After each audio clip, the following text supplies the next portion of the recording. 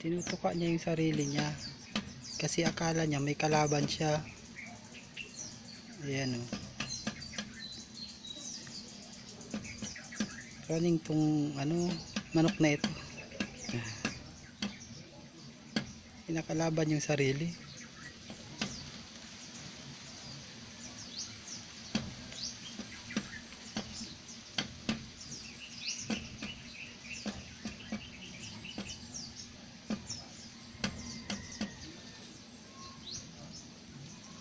Pagod na siya, pagod. Kanina pa ito eh. Ngayon ko lang na videohan, kanina pa yan eh. Lumilipad-lipad na nga yan kanina eh.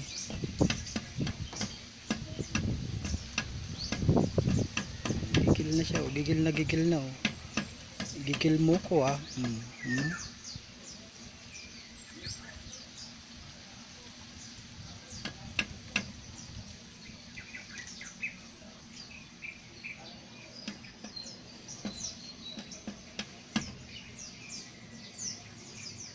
Hanggang saan kaya itatagal nito?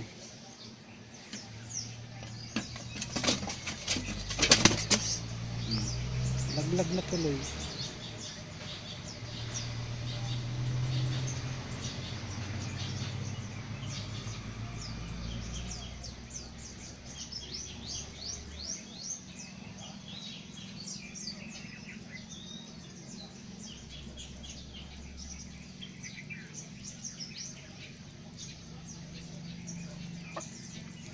Akala ko maakit ka pa eh.